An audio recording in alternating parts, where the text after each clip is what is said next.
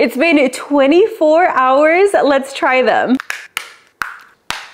Ooh, look at that. Let's try this one. Here's a close up. So good. Here goes another one.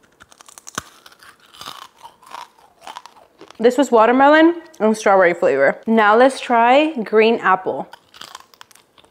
Last but not least, we have mango flavor. Definitely the green apple was my favorite one. Subscribe if you want to see me eat more frozen candy.